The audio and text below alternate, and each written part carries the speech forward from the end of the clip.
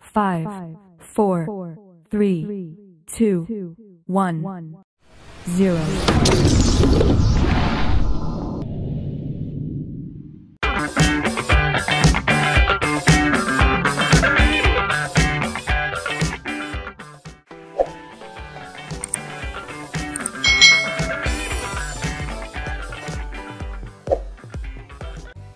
Hi, hi, hai Selamat datang di channel youtube Kak Citra Apa kabar adik-adik semuanya? Kak Citra berharap kalian dalam keadaan yang baik, sehat, dan siap untuk belajar ya Nah hari ini kita akan belajar bersama-sama untuk mata pelajaran tematik kelas 1 kita belajar di tema 3, kegiatanku, subtema 1, kegiatan siang hari, pembelajaran yang kelima. Mari kita belajar dengan penuh semangat. Edo sedang menunggu ibu menyiapkan makan siang. Sambil menunggu makanan, Edo belajar. Edo belajar nilai tempat bilangan. Adik-adik, mari kita belajar tentang nilai tempat bilangan. Nah, di sini dijelaskan tentang nilai tempat. Kak Citra mempunyai buah tomat. Nah, buah tomat itu dibagi menjadi dua kelompok. Kelompok yang pertama, jumlah tomatnya ada berapa ini ya? Yuk kita hitung. Satu, dua, tiga, empat, lima, 6, 7, 8, 9, 10. Lalu di kotak yang kedua itu ada satu tomat. Nah, 10 tomat ini itu dikatakan dengan satu puluhan. Karena ada 10 berarti satu puluhan. Sedangkan kalau ada satu ini adalah satu satuan ya karena jumlahnya ada satu dan ini disebut dengan satuan. Kalau ini satu puluhan. Nah satu puluhan dan satu satuan itu jika dijumlahkan menjadi sebelas ya. Jadi ada satu puluhan satu satuan. Maka jumlah keseluruhan dari tomat ini ada sebelas. Gambar selanjutnya adalah buah jeruk. Nah, di sini ada 10 buah jeruk dan dua buah jeruk. Maka puluhannya ada satu, jadi satu puluhan. Dan satuannya ada berapa adik-adik? Ada dua satuan. Maka jika dijumlahkan satu puluhan dan dua satuan ini, jumlahnya ada 12 jeruk. Ya adik-adik ya, jadi nilai tempatnya ada puluhan, ada satuan. Ada satu puluhan, ada dua satuan. Sekarang kita lihat wortel ini. Nah, wortel ini ada 10 dan ada 3. Maka nilai tempatnya ada satu puluhan dan ada tiga satuan. Maka jumlah dari keseluruhan wortel ini adalah satu puluhan ditambah tiga satuan itu sama dengan 13. Sekarang ada buah salak nih adik-adik. Nah, buah salaknya ini yang di kotak ini ada 10. Lalu di kotak ini ada 4. Berarti puluhannya ada 1 atau satu puluhan dan satuannya ada 4. Jika dijumlahkan satu puluhan ditambah 4 satuan, keseluruhan salak ini ada 14. Nah, begitu adik-adik. Masih lanjutnya adik-adik ada buah jeruk lagi. Nah, satu kelompok buah jeruk ini ada 10 dan ini ada 5. Maka bisa dibuat menjadi karena 10 buah berarti ada satu puluhan. Kalau ada 5 jeruk berarti ada 5 satuan. Satu puluhan ditambah 5 satuan sama dengan jumlahnya 15 karena ada satu puluhan ada 5 satuan. Nah sekarang ada buah lemon adik-adik. Nah sekarang adik-adik coba lihat di sini. Ada satu puluhan dan ada berapa satuannya? Ya, ada enam satuan. Maka jumlahnya ada berapa ya adik-adik ya? Satu puluhan dan enam satuan. Berarti jumlah keseluruhannya ada 16. Kalian hebat adik-adik. Sekarang soal berikutnya nih adik-adik. Kak Citra punya kacang nih ya. Nah, di sini yang diketahui adalah bilangannya yaitu 17. Kita uh, disuruh mencari puluhannya dan satuannya. Nah, puluhannya ada berapa? Ini kacang yang di kelompok ini ada 10, berarti puluhannya ada satu. Jadi satu puluhan. Lalu satuannya ada berapa kacang? Tinggal kita hitung. Satu, dua, tiga, empat, lima, enam, 7 Berarti ada 7 satuan. Satu puluhan ditambah 7 satuan sama dengan berapa ini? Iya 17 Ternyata betul adik-adik. Bilangannya adalah 17 Nah lanjut adik-adik. Ini ada kacang hijau. Nah di sini ada satu puluhan ya karena kacang hijaunya ada 10 dan ada 8 satuan. Ya jumlah kaca uh, kacang hijau yang ini 8 satuan.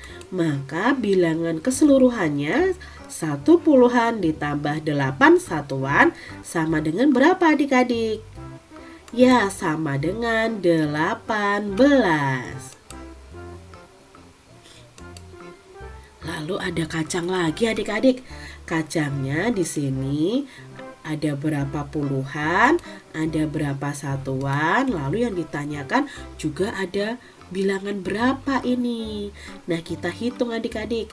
Puluhannya karena di sini kacangnya ada 10 di kelompok ini, maka puluhannya ada satu jadi satu puluhan nah satuannya ada satu dua tiga empat lima enam tujuh 8, 9. Satuannya ada 9.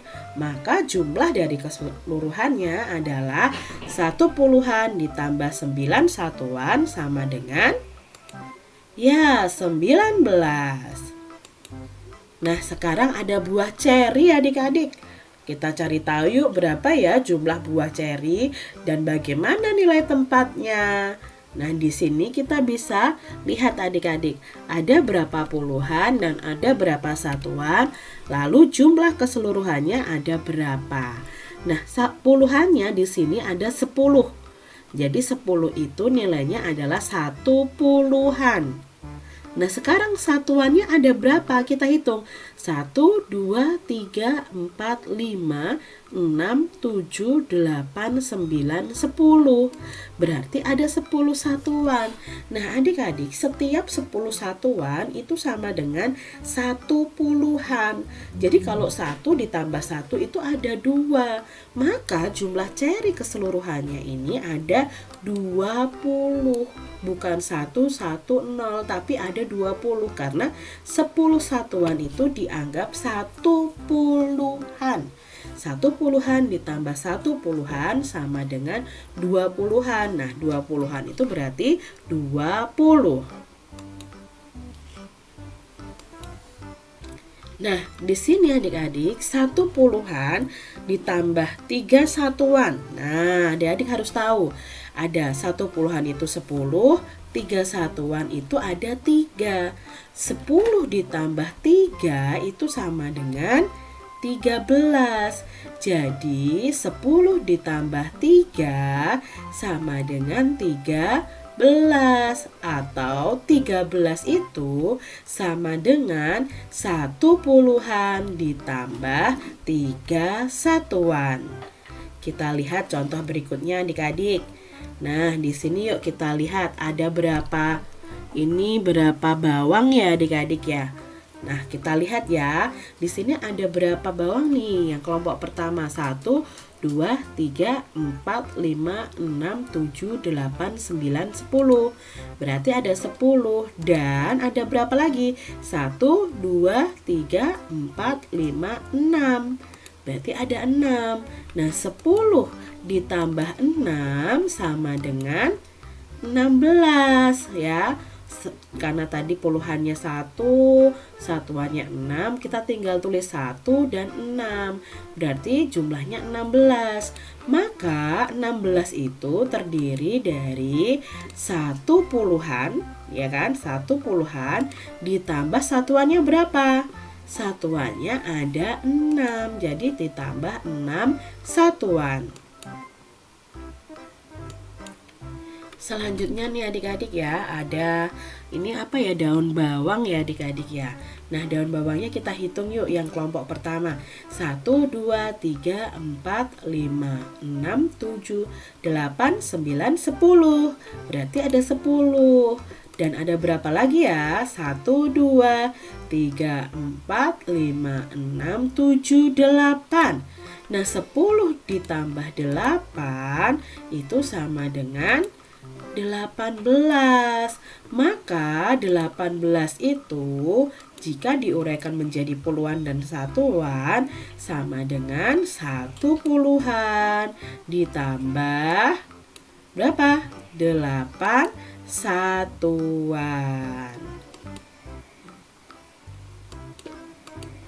Berikut ini adalah gambar kegiatan yang biasa dilakukan orang di siang hari. Mari kita cari tahu bersama-sama adik-adik. Nah, kita akan memberikan garis sesuai dengan setiap pekerjaan yang dilakukan di siang hari. Coba adik-adik lihat gambar yang pertama. Apakah ini gambar bekerja di kantor atau berkebun? Ya, ini adalah gambar berkebun. Biasanya dilakukan di siang hari. Lalu ini gambar ini adik-adik ayah yang sedang bekerja ya. Berarti di beliau itu bekerja di kantor. Nah, ini juga dilakukan di siang hari. Lalu pekerjaan lain yang bisa dilakukan di siang hari adalah yang pertama, ibu sedang apa ya?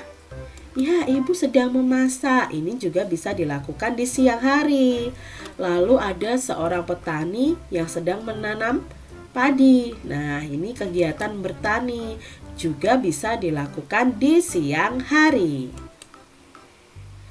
Demikian tadi adik-adik pembahasan kita di tema 3, subtema 2, pembelajaran yang kelima. Semoga video pembelajaran ini bermanfaat ya untuk adik-adik semuanya dan sampai jumpa lagi di video pembelajaran Kak Citra selanjutnya. Tuhan memberkati. Jangan lupa tekan tombol subscribe, lalu tekan loncengnya, tekan juga tombol like, lalu share ke media sosial kalian. Jangan lupa untuk ikuti media sosial Kak Citra. Terima kasih.